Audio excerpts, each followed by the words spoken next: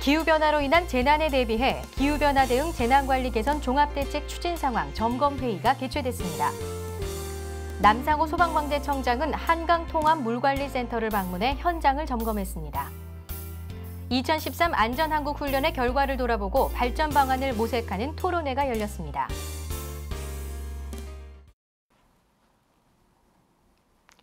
안녕하십니까. 네마 뉴스입니다. 먼저 첫 번째 소식입니다. 전 세계적으로 기후변화로 인한 기상이변이 자주 발생하고 있는데요.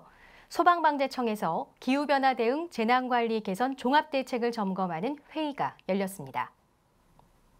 2011년 7월 수도권 등 중부 지역에 시설 용량을 초과하는 기록적인 호우가 내렸습니다.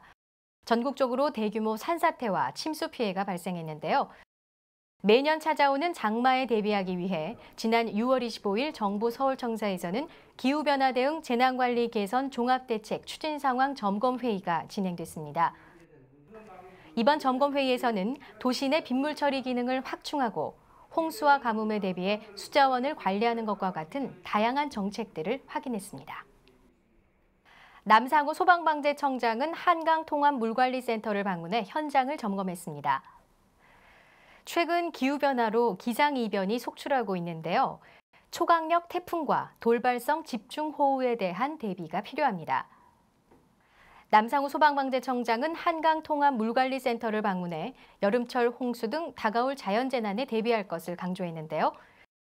특히 집중호우와 홍수에 대비해 취약한 구간을 철저하게 미리 점검 정비하고 재난이 발생했을 때 신속하게 대응할 수 있도록 지자체, 지역 주민과 협력 체계를 만드는 데 최선을 다할 것이라고 밝혔습니다.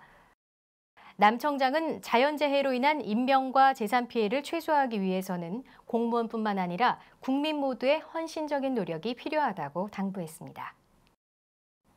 2013 안전한국 훈련을 돌아보고 발전 방안을 모색하는 토론회가 열렸습니다. 지난 6월 28일 정부 서울청사에서 열린 토론회에는 남상호 소방방재청장을 비롯해 20여 명의 관계자들이 참석했으며 2013 안전한국 훈련 결과와 종합발전 방안을 보고받고 훈련 성과와 발전 방안을 위한 발표가 진행됐습니다.